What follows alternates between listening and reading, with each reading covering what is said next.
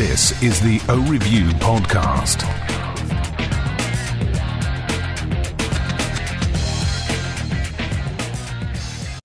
O Review. Hello again. I'm going to do another quick update. I have a larger video planned, um, as you may or may not know. I just came back from Oakley Day at Red Studios. Got to meet Jim Jannard and do a little trading, meet a few other people. It was a fun time. So I got some video from that. I'm going to post that soon. Uh, just have to kind of go through it, edit it, make it look nice, add some music so it's not quite so boring.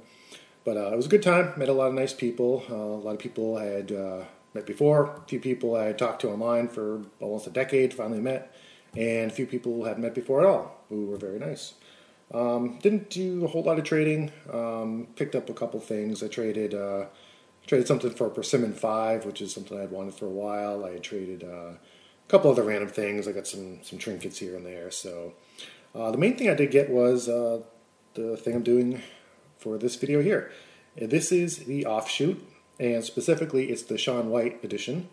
And I really loved it since I saw the first picture of it. Um, someone posted a, a promo picture, and it's really the only thing that struck or kind of caught my eye recently because uh, I haven't liked a whole lot that's coming out, but this one really, I don't know, it's sort of a, you know, as I said, caught my eye.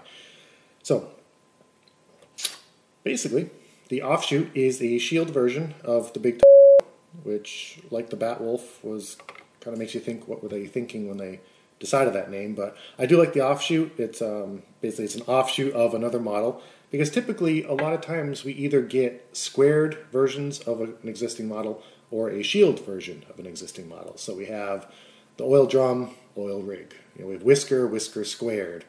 Uh, there's a lot of different variations like that. So they tend to take a model that sells well and then they just sort of change it up a bit. But in this case, um, it really works. I like the shield version of this. Specifically, I loved the 24K Gold Iridium lens. It's one of my favorite lenses. I first saw it on the pair of X Metal uh, Double X, XX. Still trying to figure out what the proper terminology is there. But um, you know, the 24K lens is just uh, it's what Gold Iridium should have been and is now. The nicest thing about 24K is from the backside, it has a very deep orange tint. So it's very increased contrast. Um, so when you're looking through it, everything's warmed up. It makes everything look very nice. And it really looks nice from the outside too. So it kind of really serves two functions. Um, since it's the Shaun White edition, comes with this uh, Shaun White micro bag, which is a nice addition. Inside there's a poster, and it's him doing winter sports. But on the other side, it also has him doing summer sports because he does do actually a lot of skateboarding, even though he's more well known for his uh, winter activities. So, um, as far as fit goes, uh, when this first came out, people were like, they didn't like the name, they didn't like the look of it, but it fits really well. Um, it's almost like a thin monster dog that isn't as bulky. And if you like monster dog, then this is really going to be right up your alley. So, I'll just put this on quick so you can kind of get an idea of what it looks like. Uh, it is huge, and if you like big lenses, which I do, uh, my last glasses I picked up before this were the Deviation, which were the huge wires, and of course I got them in ruby, so they're massive. Um, but I like, you know, I like big things. Uh, I didn't used to. I, mean, I used to be a fan of like you know the T wires or square wires, very small things, splice. But recently I've just liked this, the really huge, flashy things.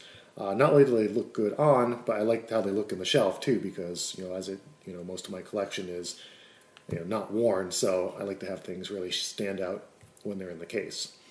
So, um, in addition to the lens and icons, they also have these uh, lugs on the side, these accent bands, which are common amongst many models nowadays.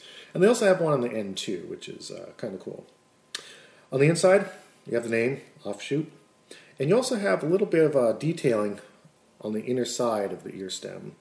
So basically, it has Oakley and the classic logo, and a little bit more uh, detailing. It has Shaun White's signature. And uh, the one downside, and I admit there is one, is that if you have long hair, as I do, it tends to get caught inside this band here. So when I took it off, it actually, I think I actually had to rip the hair out because I couldn't get it dislodged from this band here. Uh, it's kind of a minor flaw. It's really just a nitpick, really, but you know, it's just something to that I did find that is sort of a slightly, you know, is sort of a downside. Um, so really, uh, I do recommend it. Out of anything that's come out lately, this is really the only thing that I've wanted to pick up lately. So while I was down there, I was like, you know, I, I got to come home with something. So I grabbed this guy. Really happy with it. Um, I'm gonna wear it a bit, then probably retire it to the collection. Just uh, like a lot of the pairs that I buy. Before I go, I do want to mention if you haven't noticed already, I have redone the website, and based on online feedback and the people I talked to at Red, uh, everyone's liking it. So here's just kind of a quick example here. Um, I've completely redone everything. And by everything, I mean from scratch. I started with a blank slate. I didn't even copy the old code over. I just started from scratch, opened up Notepad, started typing, and this is kind of what I got. It's still a work in progress. Um, I didn't get it complete for Red Day, but I did complete a lot of stuff after that. There's still a lot more I got to do. Um, ironically, the only thing, the major thing I haven't done yet are reviews, even it's the review. But uh, I got the collections up, I got the gallery up, I got the forum, I got the database. So I got a lot of the major things up. There's a few minor database things like the catalog areas, the lens options, minor things like that that I have to still get up. Um, but uh, the forums really picked up, so I'm kind of happy with that. Uh, we had a sort of decline lately. Um, it was hard to get into. It wasn't mobile friendly. And speaking of mobile, I also spent some time and I completely redid the site in mobile too. So it's going to be a lot easier to use. So if you are a mobile only user and you didn't use the site because of that, and I don't blame you because I would suffer through it myself and I always thought I got to make it mobile, but never got around to it. I finally did. And I was grocery shopping and I actually started checking out the site. I'm like, why didn't I do this sooner? Um, so I'm really happy with um, basically the way the site is on mobile, and it also fits really nice on an iPad as well as a desktop. So there's a lot of cool things you can do. I really would like you to check it out if possible. Um, I put a lot of work. I put about four or five months of solid work into it so far. I still have a lot more to go, but I would recommend you checking it out if you haven't already, or if you're just an old user of the site and haven't seen it in a while. Uh, there's a lot of new stuff there. A lot of people are chatting. Forums booming. I'm happy. So uh, pick these up, visit the site, and uh, everything's going to be good. So I will check you all later. I'm going to work on that red video soon and hopefully get that up uh, very shortly. So as always, take care. Thanks.